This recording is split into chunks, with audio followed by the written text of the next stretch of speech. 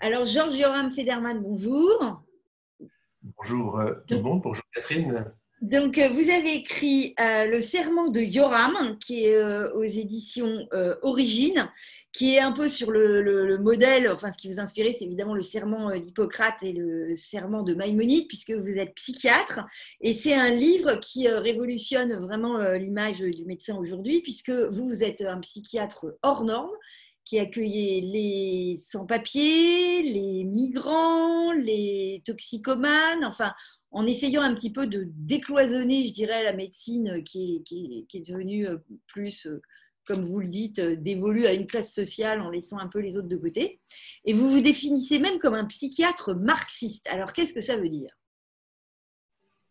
Alors, c'est dans les deux sens où on peut l'entendre, c'est marxiste au plan de Karl Marx, alors sans adhérer à une idéologie politique, j'ai toujours pensé que, le marxisme, c'était euh, une manière de, de mettre les gens du peuple au centre des préoccupations et de tout développer, tout mettre en œuvre pour arriver à cet objectif. Et ça va à l'encontre de ce que j'ai appris à la faculté. À la faculté, on m'a on vraiment appris à, à, être au service d'une classe sociale. Mm. celle à laquelle appartiennent les, appartiennent les médecins. Et l'autre forme de marxisme, c'est Groucho aussi, euh, euh, certainement, c'est une manière de ne pas se prendre au sérieux. Ça veut dire qu'on a le sentiment, quand on exerce un, métier comme celui de, psychiatre ou en profession libérale, de détenir, la, une forme de vérité. Et en fait, la vérité, elle est portée par les patients. Donc, euh, euh, celui qui croirait en exercer la médecine détenir un savoir, il ne pourrait que se moquer de lui-même, mm. refuser d'appartenir à un tel club, comme disait Groucho. Et alors justement, euh, ce, que, ce que vous expliquez aussi, c'est que plus que la transmission d'un savoir et l'échange d'informations, euh, vous, vous considérez que les, consultations, c'est plus prêter une oreille, écouter des silences, enfin, euh, et est-ce que cette, cette, façon de voir les choses, ça n'exige pas euh, une forme d'amour inconditionnel, quoi, finalement, d'être dans une empathie muette?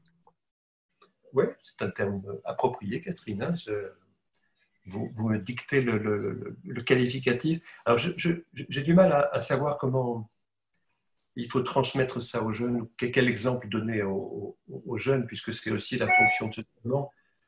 Euh, je pense qu'il suffit en fait d'être à l'écoute de la partition qu'incarnent les patients.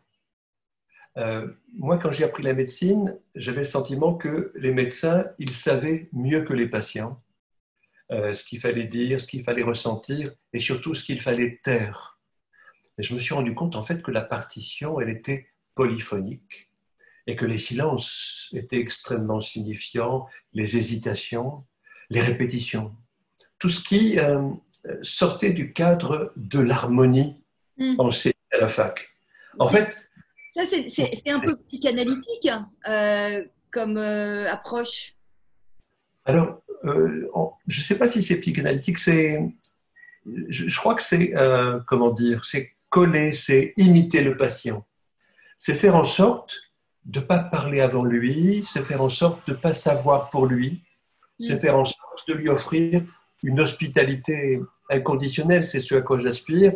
Je suis pas sûr que la psychanalyse propose cette euh, hospitalité. Hein il y a la, fameuse neutralité bienveillante qui est à l'inverse de ça. Voilà. Alors cette neutralité est intéressante aussi. C'est-à-dire, je me suis rendu compte que beaucoup de praticiens, en fait, euh, attendaient du patient qu'il demande quelque chose. Et je me suis rendu compte que dans le monde d'aujourd'hui, la plupart de mes patients ne peuvent rien demander parce qu'ils sont muets à cause de la douleur qu'ils portent, de la croix qu'ils portent. Et je me rends compte que euh, la marche du monde, elle est tellement douloureuse pour beaucoup d'entre nous que l'expression principale, c'est le silence. La plupart de mes patients sont muets. Et donc, la question, c'est de savoir comment on, ouvre sa porte et on, prête l'oreille à des gens qui sont incapables de parler et qu'il faut même aider à se taire pendant quelques années. Hmm.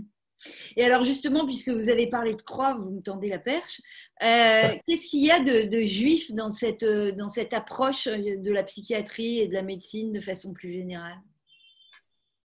Alors, plein, plein de choses. Je crois que le, la question du, du, rapport alors à, l'esprit du judaïsme ou à l'essence du judaïsme, elle se pose pour moi en permanence, mais toujours avec euh, la nécessité de reconnaître en quoi le judaïsme influence, mais aussi avec l'espérance de pouvoir dépasser cette influence-là. Parce que je me rends compte qu'on ne peut pas exercer comme juif ou juive, on ne peut pas exercer comme laïque, mais on est obligé d'exercer comme va nous dicter la forme d'exercice notre prochain patient. Hmm. C'est-à-dire que la conviction qu'on a d'exercer d'une certaine manière, elle est remise en question, elle est transformée, elle est euh, matriciée par l'arrivée, alors non pas du Messie, ni des temps messianiques, mais du prochain patient. Hmm. Et donc, la question du judaïsme, c'est. Je, lisais récemment un, livre de Marie Vidal, euh, Jésus et le Shabbat. Jésus et le Shabbat. Elle racontait l'histoire, ou elle rappelait l'histoire de ce rabbin Meir de Tibériade, et de sa femme Bruchia, qui, un, un, certain Shabbat, constate, c'est la maman qui constate la mort des deux fils. Mm-hmm. Euh, et elle laisse partir son, son mari à, la choule pour euh, étudier. Il revient à midi, demande des nouvelles des gosses. Et la femme dit On les a tellement bien éduqués à, à étudier la Torah qu'ils sont ailleurs, ils sont dans une autre choule, une autre, euh, une autre synagogue. Le rabbin repart euh, étudier l'après-midi, il revient pour casser le Shabbat, demande des nouvelles des gosses, et la femme lui dit J'ai une question à te poser. Tu aurais un grand ami qui t'aurait fait un jour deux grands cadeaux et qui demande à les récupérer. Qu'est-ce que tu décides? Et le rabbin dit ben, Si c'est un grand ami et s'il demande à récupérer les cadeaux, je lui rends. Et la femme l'amène au chevet des deux garçons morts et, c'est comme ça, c'est comme ça que je, me représente le judaïsme à la manière de, Sénèque. Mm. Le judaïsme, ça peut être aussi le, stoïcisme, c'est la, comment dire, la, la manière d'accueillir les bonnes nouvelles, mais qui ne doit pas nous aveugler et qui doit nous permettre d'accepter ce qu'on nous enlève. Pour moi, c'est ça être juif.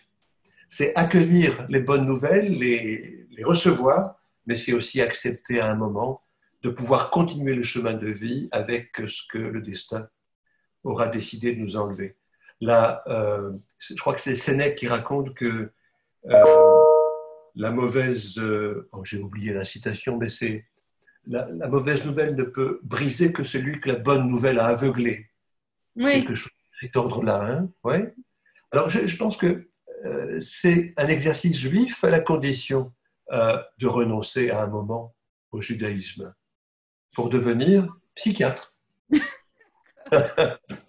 merci beaucoup. Donc, euh, Georges Yoram Federman, Serment de Yoram, donc aux éditions Origine. Merci beaucoup. merci Catherine. Merci beaucoup. Hein.